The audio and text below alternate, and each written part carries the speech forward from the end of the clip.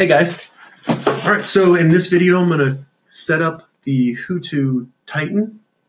I've already got it turned on just so it kind of creates the network and goes through booting up. Before I do that, I wanna, I'm gonna connect it to my network, Yolanda, and I'm gonna do a quick speed test on Bing just so we can see what we're starting with. That was one I just ran before that, but that's a big difference. So we'll just let that run and then I'm going to connect to the network that the HooToo makes, set up a bridge network with my Yolanda network, and then we'll do a speed test there. So you'll get to see the process of setting it up and then what the network actually looks like speed-wise. Because if you're in a hotel and you're setting one of these up, you want to have good speed. Like, why even do it if you're going to be losing 10% or 50% of your bandwidth? So it looks like we got our numbers. I'm going to go ahead and connect to the HooToo. I've already tried doing this and so it it's, may not prompt me for a password, but I did reset this just so we can go through the process again. So looks like it's requiring logon information. Let's see what that does. Okay, I'm just going to go to the IP address that was provided in the directions. You just hit, first time logging in, you just hit log on. Admin, there's no password, admin's the username. So you're going to get into this little website that has where you can explore any drives you have attached to this thing, and you can also get into the settings. So we'll go into the settings. One thing you want to look at, um, you want to go into, let's see, system settings and firmware upgrade. Find out if you have the most current version. So this is what came with it.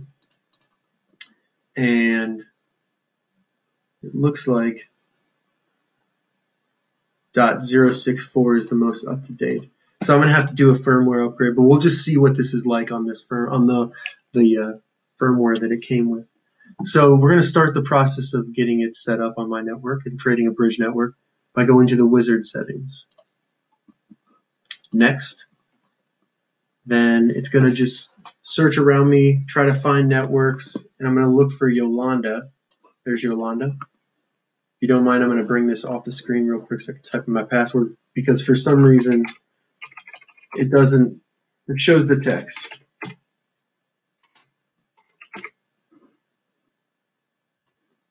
You, while you're typing it, it shows it. So I'm going to go to next once I typed it in.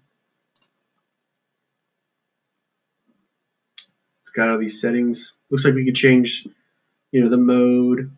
We'll change this to video folder test. Select the channel. I'm going to do auto. I do live in an apartment, so it might be a good idea to do some testing there and see what the best channel is. You could change the default IP address for the admin screen, but I don't care about that right now. Let's just get it set up. We'll do next. I'm going to leave the password as the same. Let's see if it'll let me.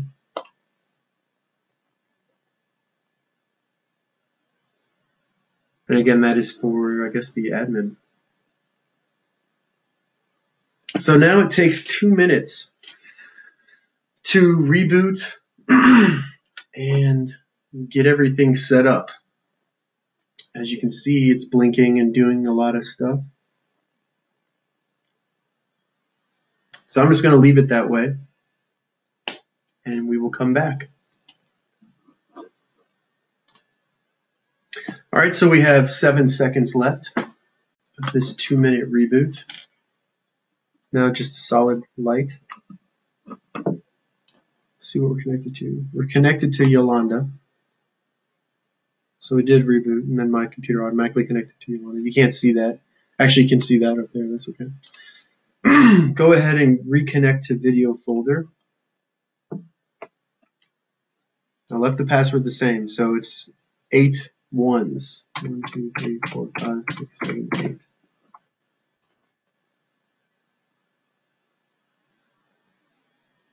Getting connected.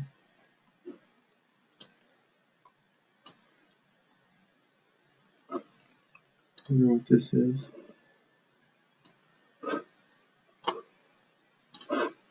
I'm just going to go ahead and try our website and see what happens. All right.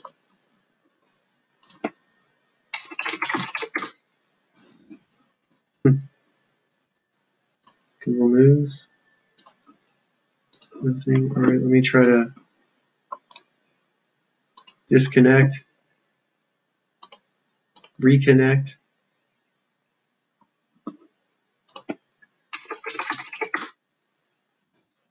Still not letting me go anywhere. Ready?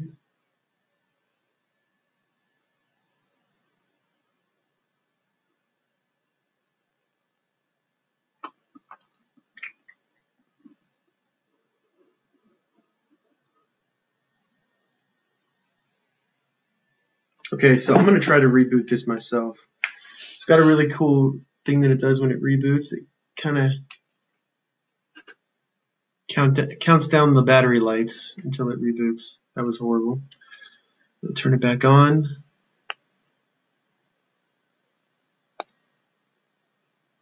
So it's going to count them up. It's already really warm on the button. Hmm. It's blinking.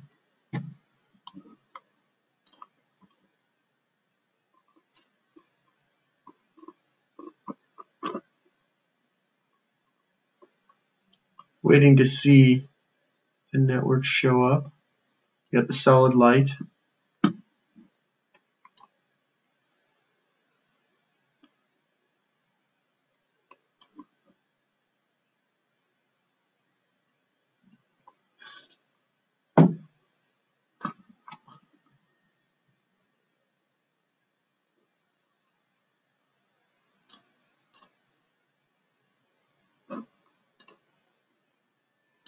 All right, connect again. And try it.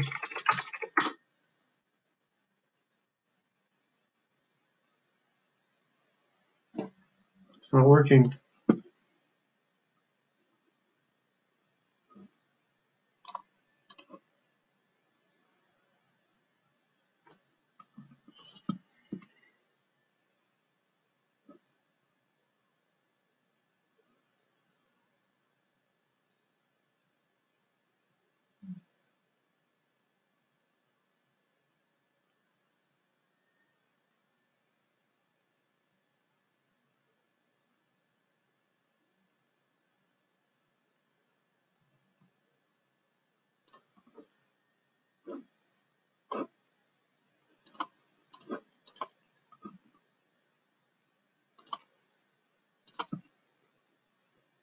So I think we may have to go in and manually select the network again.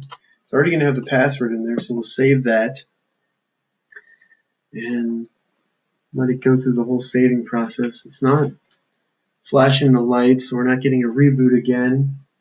It just has to save it on the system again. Now again, I am running the old firmware, so, oh, we got a green light. It's green now. That must mean that it's connected to the internet. It was blue. So I'm just going to let this finish and then we'll try thing again just perform another speed test. Looks like it's working. Awesome.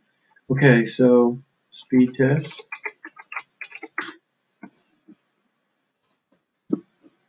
So before we were getting 16, 11 down, or 16 up, 11 down. Now we're getting around 4, five down, looks like. And five or six up. Ooh.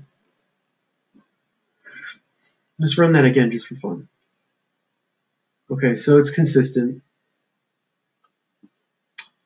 I'm going to go ahead and install the new firmware, and I'll be right back.